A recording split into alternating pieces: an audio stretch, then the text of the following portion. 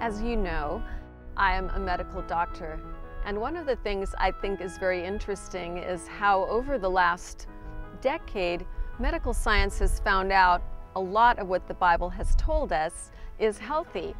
Now, scientists and psychologists and other religions are latching onto this, but for thousands of years we've had advice on how to live a happy life.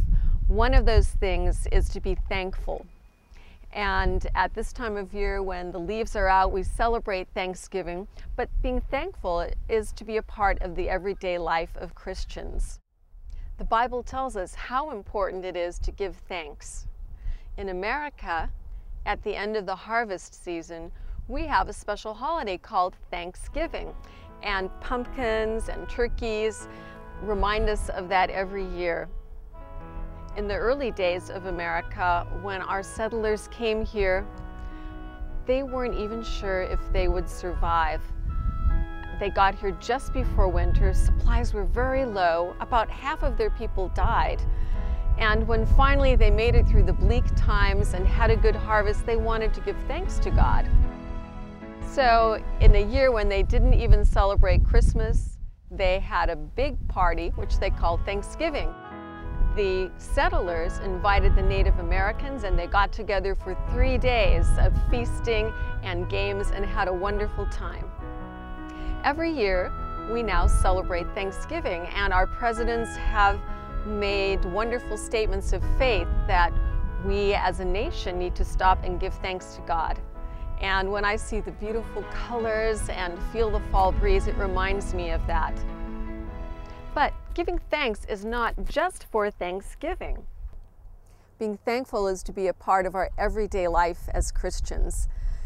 Even in the darkest times, I've found there is something to be thankful for, and that little attitude of thanksgiving is what gets us out of the doldrums and depression.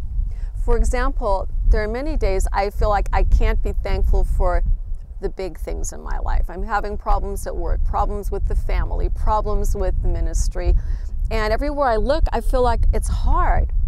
So, what I do, folks, is start looking down at the really small things. For example, here in the orchard, I could look at those little yellow leaves. I can look at something small in nature. And from that, I get encouragement. I can see, wow, look, God is doing something great with something even very small. And maybe He can work out my problems too. There was an American president who used to go up at night and look at the stars in the sky, and that made him think, wow, if God can take care of all those beautiful stars, He can take care of my problems in running this nation. Another thing we can be thankful for that's small is maybe something we like to eat or something a friend says to us or some little thing that we're doing that day that we enjoy. So look for the small things in life to be thankful for.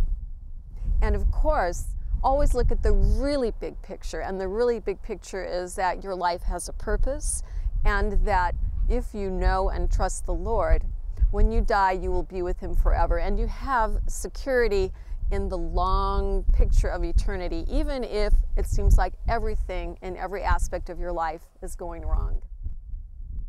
So, being thankful can help us be happy and enjoy life, as well as it does recognize the good things that God is doing.